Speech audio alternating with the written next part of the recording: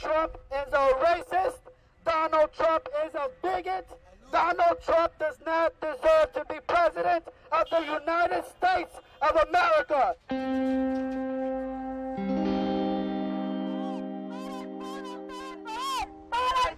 I'm Cuban Dominican.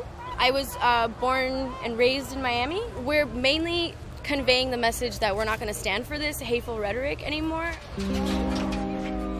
We are the workers and students that made up the community-based organizations that organized themselves to stand up to Donald Trump today. I came here when I was 10 years old as an undocumented immigrant. I lived here 11 years uh, under that status. It was really, really stressful and scary, you know, knowing that any mistake could lead me in a, to be detained and possibly deported.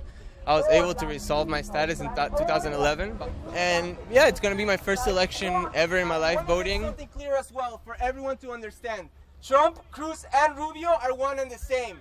They have surrendered to the Trump effect and betrayed our community. As an immigrant youth, I know there are thousands of, people, of youth that feel like me that are never ever going to forget the way our parents and families were treated, the way they were mistreated, and we are always going to vote against those that hurt the interests of our community and those that hurt our families.